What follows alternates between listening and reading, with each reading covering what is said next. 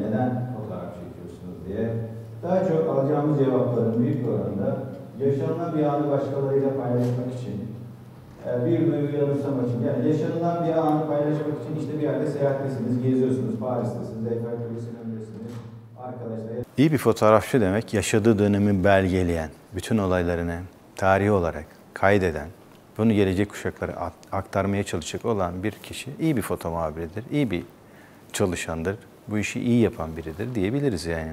Ya bu işi tutkuyla yapmak lazım, severek yapmak lazım. Bu iş öyle bir şey ki fotoğrafçılar için, foto muhabirleri için dünyanın her yeri çalışma alanı. Meraklı bir şekilde nerede ne oluyor diye belgelemesi lazım. Zamanının görsel tanıklığını yapması lazım. Yani iyi, iyisi bu yani.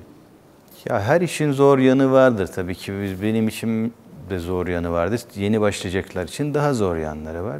Yani zorlukları bazen bir şeyi kıymetli kılan şey zorluklarıdır. O iş ne kadar zor olursa o kadar daha kıymetli olur. Bu mesleğin en güzel yanı hayatın bütün alanlarını, bütün katmanlarını rahat gidip gelebiliyorsunuz. Yani bir gün bir olayı çekerken bir gün başka bir mekanda başka bir şey bir sanatçıyı çekebiliyorsunuz. Bir gün cenaze çekerken aynı saatlerden bir saat yani kısa bir süre sonra bir düğün de çekebilirsiniz ve bir futbol maçını çekerken aynı zamanda bir siyasi lideri de çekebilirsiniz. Dolayısıyla bir olayı da çekebilirsiniz. Bu sizin zenginliğiniz haline geliyor ve sizin bu sizi böyle arkanızda bir şeye dönüşüyor. Yani bilgi, birikim, tecrübeye dönüşüyor. Bu insanda güzel bir yani o daha bir motive edici, daha güzel bir duygu yaşatıyor öyle söyleyeyim.